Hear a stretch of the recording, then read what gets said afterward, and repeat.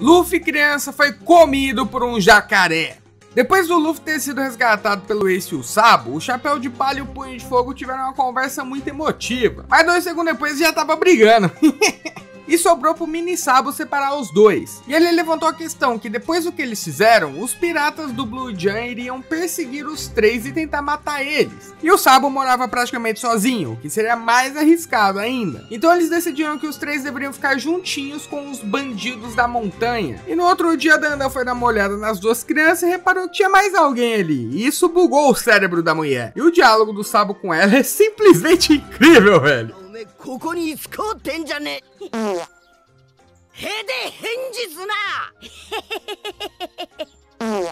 E aí ela aceita que mais uma criança vai morar lá. E quando os três saem para ir fazer merda, o Sabinho fala para eles tomarem cuidado, que talvez vai aparecer uns piratinhos aí querendo matar geral. Depois mostra o Ace e o Sabo comendo um peixe gigante e o Luffy tá lá babando, velho. Nunca dão carne pro moleque, tadinho. E eles começam a conversar sobre a Akuma no Mi do Luffy. E enquanto o Sabo acha o poder da hora, o Ace fica tirando uma com o Luffyzinho. Falando que perder a capacidade de nadar para ter um corpo de borracha foi uma péssima troca. Obviamente a criança fica puta putaça da vida e decide mostrar um ataque especial, o balão de borracha. Daí o Chapeuzinho de Palha vai lá e vira uma bola gigante. O Ace logo dá uma bicuda na bunda dele. E esse cara jogando futebol com a criança, até o Kid Luffy cair na água e ser comido por um jacaré. Os dois já entraram logo em choque e vão salvar o caçulinha. E no final corta pro Luffyzinho putaço com eles. E o Ace falando pra ele ficar calmo porque ele vai comer muita carne de jacaré no jantar. E instantaneamente a criança fica feliz.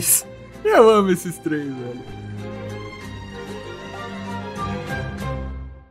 Mañana no hay clase, mañana